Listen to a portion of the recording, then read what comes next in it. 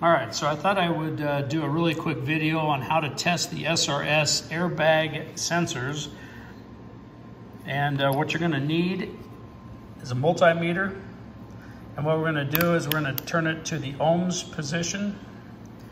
And then what you're going to do next is you need to touch the probe. So what you're gonna do is just take the end of it, just go down, touch the uh, end of the electrical connection, and then take the other one, put it right down in next to it.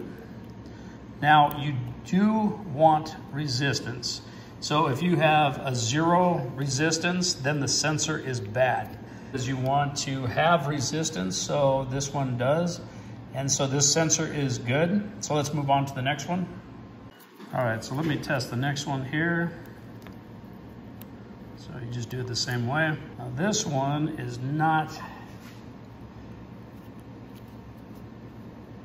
pulling any resistance at all. So this is actually bad. If you see here, that is a bad sensor.